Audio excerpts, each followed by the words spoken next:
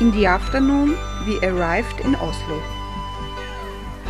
From our hotel, we had an excellent view across the harbor.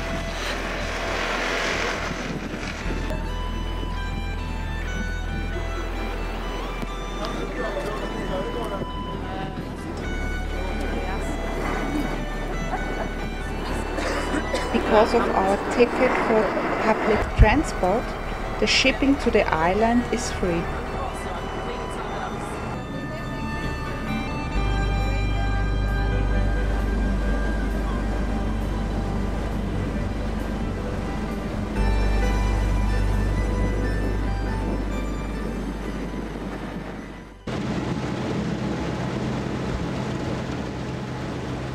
First of all, we visit the Fram Museum.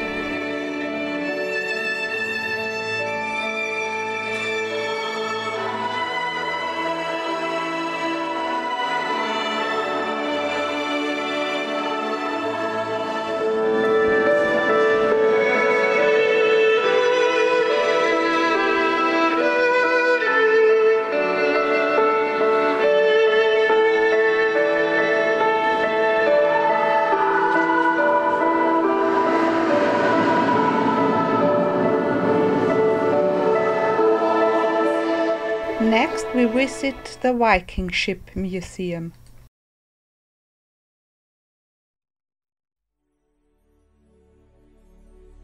They are in good condition because they were 1000 years under the earth.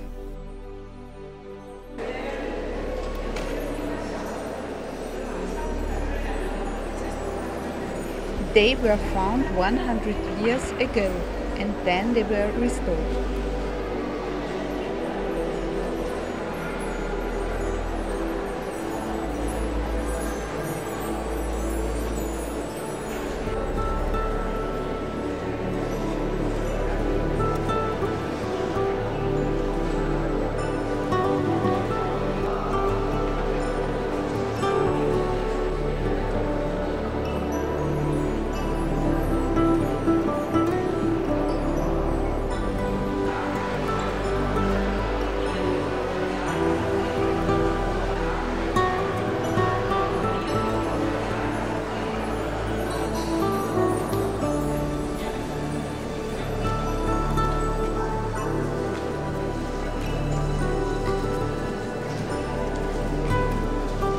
Unser drittes und letztes Museum ist das Kon-Tiki-Museum, das dem norwegischen Forscher Thor Heyerdahl gewidmet ist, der von 1914 bis 2002 lebte und der zahlreiche Meeresexpeditionen mit Schiffen durchführte.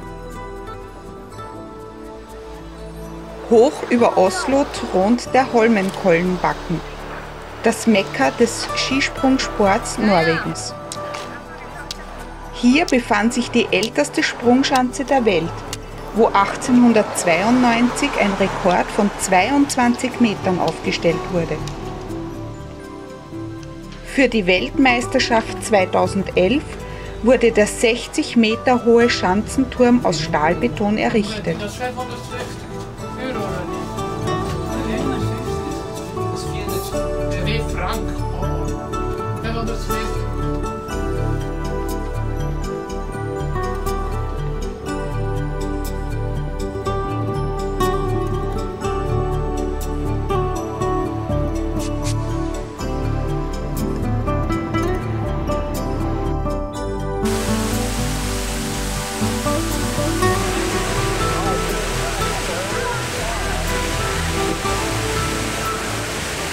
Nun wandern wir die belebte Fußgängerzone, die Karl-Johann-Straße entlang.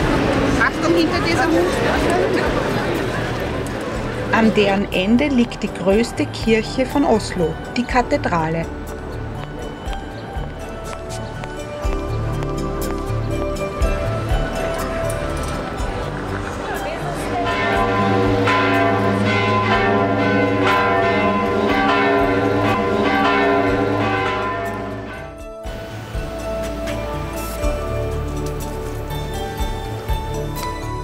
Am anderen Ende der Fußgängerzone liegt das königliche Schloss.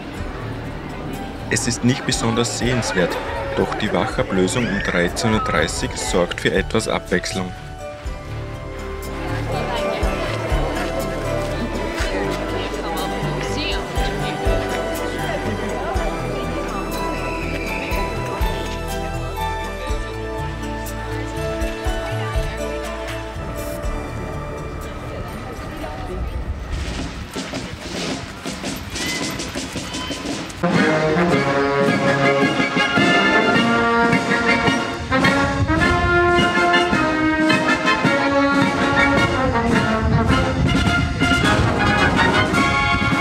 Sind schon etwas müde und somit fahren wir mit der Straßenbahn zur nicht weit entfernten Ackerhusfestung. Der Bau wurde bereits um 1300 von König Haakon begonnen. Gegen 1800 verfiel die Festung, wurde aber gegen 1900 wieder restauriert.